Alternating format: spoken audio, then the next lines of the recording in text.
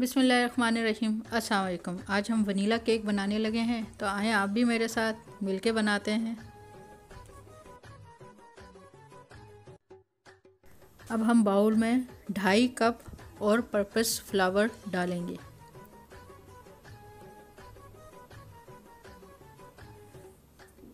अब इसमें एक टीस्पून बेकिंग पाउडर और आधा टीस्पून नमक डालेंगे।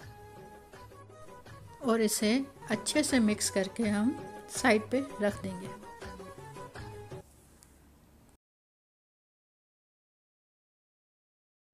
अब एक बाउल में एक कप मक्खन लेंगे और एक और आधा कप आइसिंग शुगर और इसे अच्छे से ब्लेंड करेंगे।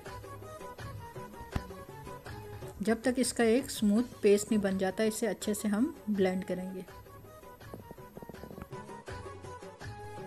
तकरीबन 10 मिनट में ये इस तरह से सॉफ्ट सा पेस्ट बन जाएगा।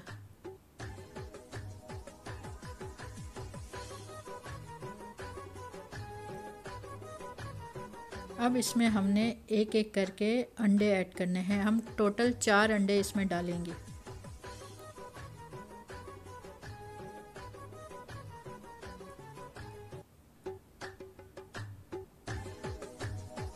और इसे साथ साथ हम ब्लेंड करेंगे।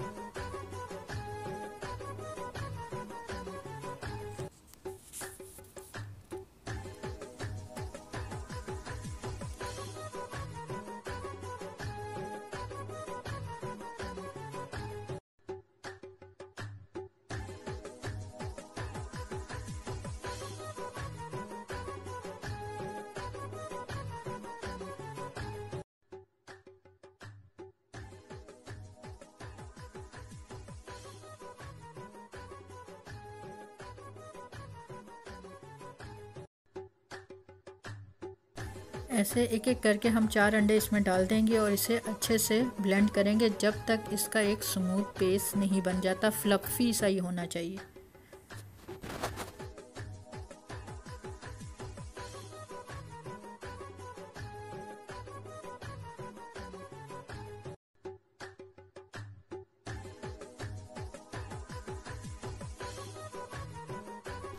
थोड़ा टाइम लगेगा, लेकिन ये स्मूथ पेस्ट बन जाएगा। जितना आप इसको अच्छी तरह से करेंगे ब्लेंड उतना अच्छा आपका केक बनेगा।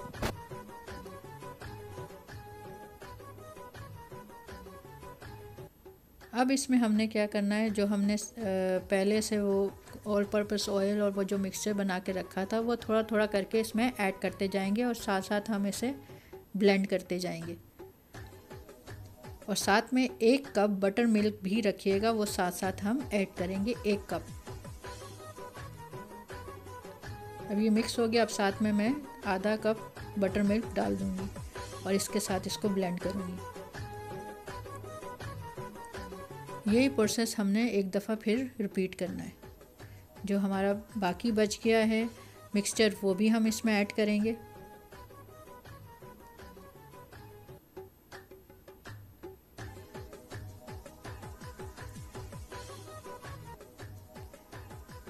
जो बाकी मिक्सचर है, वो सारा मैं इसमें ऐड कर दूँगी।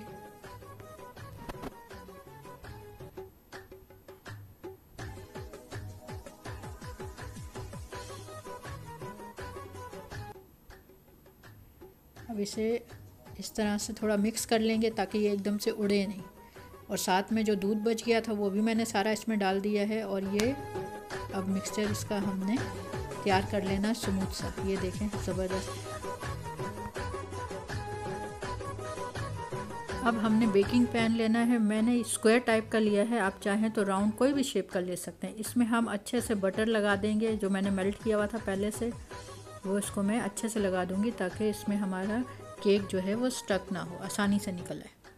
अब इसमें हम बटर पेपर लगा देंगे।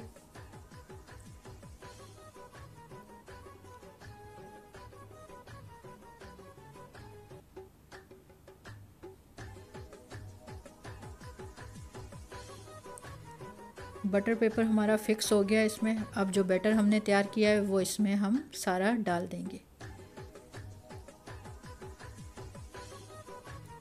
मैं थोड़ा बड़े पैन में इसलिए बना रही हूँ कि मैंने इसे बना के इसके बीच में से दो हिस्से करने हैं, जो केक हमने बनाना है। अब इसको अच्छे से फैला देंगे।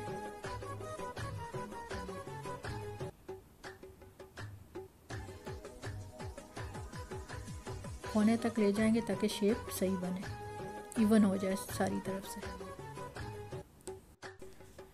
मैंने इसे ओवन में 20 मिनट तक रख दिया था। अब ये ओवन में तकरीबन 15 मिनट बाद इस तरह से हम एक पिन की मदद से, अगर पिन सूखा निकलता है तो इसका मतलब हमारा केक तैयार हो गया और केक बिल्कुल तैयार हो गया अब इसे हम निकाल लेंगे। ज़बरदस्त खुशबू आ रही है। फ़र्स्ट टाइम था, लेकिन ज़बरदस्त बन गया। अब इसको बीच में से मैं हाफ़ करूँगी, ताकि मैं इनके ऊपर नीचे तेल लगा सकूँ। और ये ऊपर का जो क्रस है इसका, ये मैं काट दूँगी, ये निकाल देंगे कुछ इस तरह से ये तैयार हो गया। मैंने साइटों से भी इसको थोड़ा थोड़ा काट लिया कि एक ही जितना इसका स्क्वायर शेप बन जाए। अब इस पर हम विप क्रीम लगाएँगे। विप क्रीम मैंने लगा दी थी और ये मैं रेडीमेड विप क्रीम लाई थी, वो मैंने इस पर लगा दी। ये लें जनाब, वनीला केक हमारा तैयार है। चलें जी, हमें तो भूख लगी है, हम तो खाने चले हैं। आए, आप भी हमारे साथ, बिस्मिल्लाह करें।